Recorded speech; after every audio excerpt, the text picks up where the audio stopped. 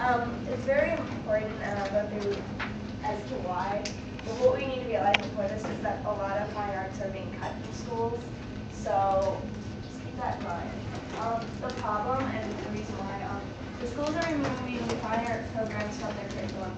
And the lack of funding is kind of part of it because they're losing their funding through No Child Left Behind. But that's the main reason that I found in my research as to why a lot of arts are being taken out of schools is because of the No Child Left Behind Act. Because that act just requires core curriculum to be uh, tested, and even so, the state deems what they believe core curriculum is.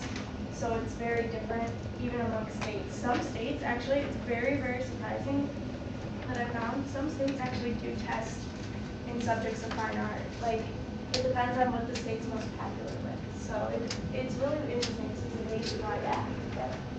Um, the No Child Left Behind Act, I thought because it's so central to my uh, the topic, and it, it's also a big part of school instruction nowadays, which I'm sure everyone knows. That'd be very uh, important to go through what it is or what it causes. Um, it causes more accountability for teachers in schools, or at least is this is the uh, purpose that everyone's hoping that this will happen. Um, the accountability among teachers, if teachers, students are performing below standards, then obviously your students reflect how you teach. So if you're not teaching um, to a way that is deemed suitable, then their standards will be lower. Um, and the schools are also held accountable for schools that are uh, really struggling. Um, the only, they only test core subjects though, at least here in Illinois, and it's mainly just reading, math, and writing. So even subjects like science and social studies are being cut from the curriculum, which is very, uh, I mean, like, I'll get into it more as to why we need these subjects. Um, and the other subjects that aren't being tested are deemed as unimportant. Um, I mean, like, how many times have you gone into a school system and extracurriculars are seen as something like as a reward to a child? Um, and uh, as Laura H. Chapman, she's a writer of the journal article An Update on the Child Left Behind and the National Trends in Education. She found that in 2006, 71% of surveyed districts reported cutbacks in time devoted to other subjects. 22% reported cutbacks in time devoted time devoted to art and music. 71% of the districts surveyed reported cutbacks. That's a pretty big um, number. And I know that in the school I'm doing practicum in now, if uh, if they don't have time to get through reading and writing throughout the day, then social studies and science are cut out to make room for reading and writing. So they don't even learn about social studies and science throughout the day. The arts are described as um, fostering creativity. Uh, this is also Chapman, she's continuing. Um, the arts are described as fostering creativity, innovation, and art literacy needed for a more competitive workforce and global uh, information age, while also rescuing students trapped in high poverty schools by strengthening these learning environments, decreasing truancy and delinquent behavior, and improving academic performance and education skills and so on. All right, this is a lot to take in, I understand that. Um, this is why it's important for these non-tested subjects to be in school, is because it's fostering creativity and innovation and for a competitive workforce and global information. Other nations, they like there are big nations out there that deem art as very important. It's actually a big part of their culture. And if um, Americans want to get out there in the global age and they can't, they won't be able to relate to what's going on in the world. And I mean, I know I've done music all my life, and I like to think that would help me get a job someday because it shows that I'm creative and I'm willing to look outside the box. Um, I'm sorry. Also, another big trend throughout my research was um, students in high poverty schools. They, according to a lot of the uh, researchers, they they agree that uh, having fine arts in the schools really helps these children sort of. Well, I mean, it does all this up here. It helps them feel like they belong in school, like they don't feel out of it, like they don't understand something.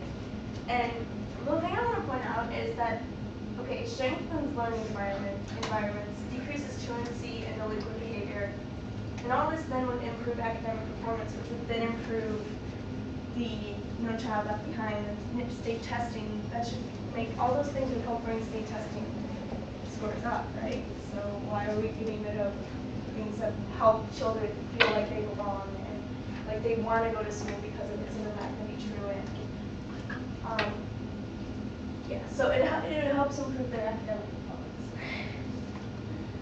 Um, things that are uh, can improve, uh, it helps to reduce stress, improve learning outcomes, enhance intrinsic motivation, regulate brain chemistry, argument, body memory, and literally rewire neural brain paths. And where I'm going with this is very similar to what Nick said. I don't know if you guys remember a long, long time ago, but when he was mentioning when he was mentioning marching band, you know, he's mentioning you're counting in your head the amount of steps you're doing, you're playing with your fingers. The creative side of your brain is the right side of the brain, the magnetic side is your left side. So you're using both sides. And by doing that, you are literally rewiring your neural pathways, and it makes memory easier. The more pathways you have, the more memory you're able to hold within the brain. Um,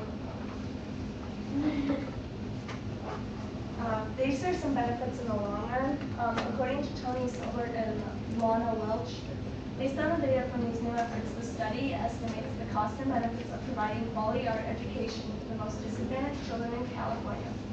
These calculations, these calculations suggest that by implementing strong art programs for at-risk 4th through 12th grade, the state can recover one and a half times its investment through savings to the criminal justice system and increase the tax this is kind of extreme, I understand that.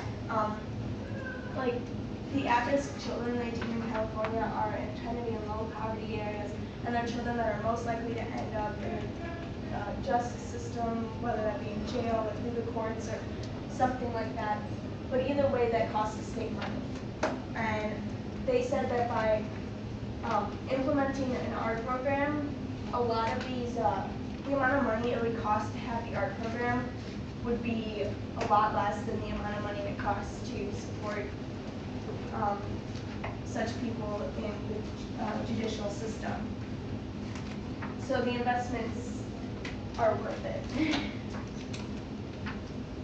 And then um, it's more than just an extracurricular, which I know is kind of hard for a lot of people to understand. But um, this is what I this is what I mainly took out of it is middle school students search to find themselves, and the arts can help with that. Is if you're searching to find yourself, like I know one thing that I would use to describe myself, and even in middle school, was musical. Or like I know a lot of friends felt the same way. It it helps you realize who you are and who you want to be. Um, and if you think of the future, um, Patricia Beal Peterson believes that one prime mission of schools in the United States is to include students with the knowledge and skills to be active citizens. It is the social studies content area that is traditionally charged with this responsibility.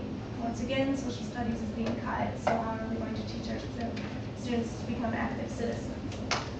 Um, if this subject area receives fewer resources, how can we as a nation be assured that our youth will become well-rounded adults equipped to take on the full mantle of citizenship and enjoy the pleasures of the arts?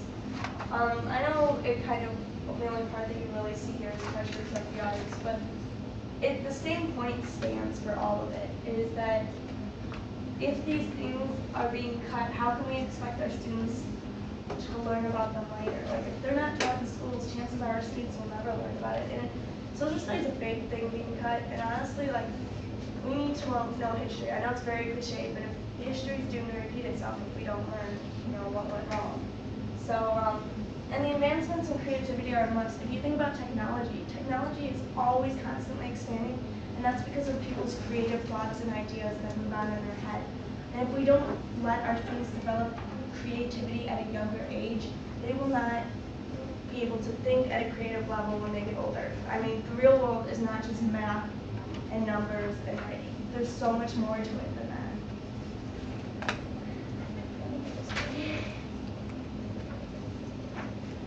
Um, and another big thing I found that I thought was, uh, if we also teach these as just extracurriculars, what does that say about teachers who are just science or just teachers, just music teachers? Like Nick, Nick has gone through so much schooling here. He's gone through the same amount of schooling as the rest of you. But because we just deem music as an extracurricular, people will, I mean, people, it's the truth, people will look down upon him because he's just a music teacher. And that's not right, because he's going through the same amount of stuff. So we need to understand also that, um, music teachers and art teachers went through their own schooling and their own work to develop their own activities the class. And I know I could not teach music the way Nick can teach music because he's gone through that. And it sort of demeans him in a way when we cut these subjects out of the school systems.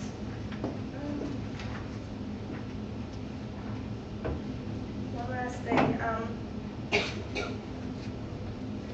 in the, um, twenty-first century, this is according to, uh, Karen Walker. Um, in the twenty-first century, due to technology and rapid means of travel and communication, the world has gotten much smaller. Students will be expected to be aware of other cultures and think creatively and observant and be problem solvers. All of these, once again, can be solved by incorporating fine arts and music into the curriculum. Students will learn about other cultures in this sense, and I mean, in the 21st century, it is true, our world has gotten a lot smaller, so we need to be able to expand with our knowledge as well, and not just keep it to a central core curriculum that is deemed by this uh, nation to be important.